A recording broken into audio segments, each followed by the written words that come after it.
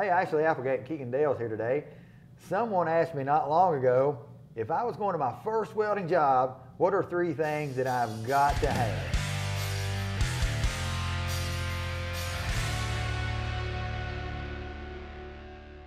All right, so here we go. We're going to count them down. This is just our opinion. I think the first thing you're going to have to have, you're going to have to have an ID. They got to know who they're hiring. Sometimes it's the driver's license, but you might want to make sure you got two forms of ID. Some people carry the driver's license and the social security card.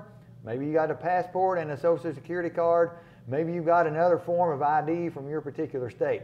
So the ID is definitely number one on that list. Keegan, what you got for us? And the second thing that you're going to need for a job is a voided check, just so they can print that and put it on file.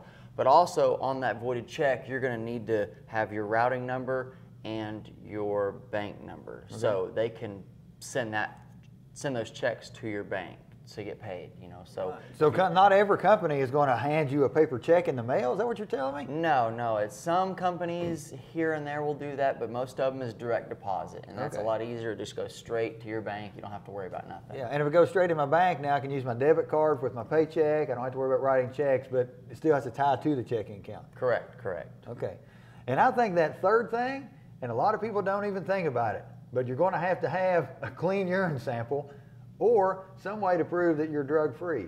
Some organizations want a, a, toxicology card with your photo ID and negative drug test history. But guess what? It's the test you never have to study for. Most companies in, nowadays in the industry are going to give you a mouth swab drug test or a urinalysis. And if, hey, if you're going into government work or nuke jobs, guess what? They're pulling hair.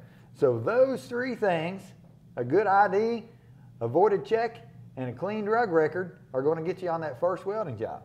Gotcha. And if you're wanting to know how to get that first job and what you need and how we can help you, stay tuned, follow our YouTube, and check out our website for more information on how you can become a welder and start your career in welding.